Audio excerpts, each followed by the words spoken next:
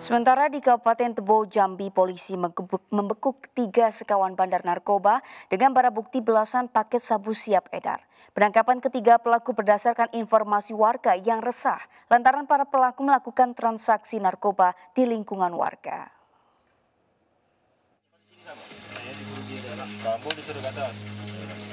Penangkapan tiga bandar narkoba kelas kampung berawal dari penangkapan seorang pelaku saat hendak mengantarkan paket sabu. Saat digeledah, polisi menemukan barang bukti lima paket sabu beserta alat jangan campur. Dari penangkapan pelaku, anggota opsional Satres Narkoba Polres Tebo menangkap dua pelaku lain. Berapa? Ini paket berapa? Berapa banyak? Berapa? Berapa banyak tuh? Ini? 12. Dari hasil interogasi, diketahui barang haram tersebut didapatkan dari seorang bandar besar bernama Yanto yang saat ini masih dalam pengejaran. Pertama yang ditangkap juga dia sudah memang sudah merupakan bandar dan kemudian dilakukan pengembangan dan mengakui bahwa barang itu didapatkan dari saudara Gatot.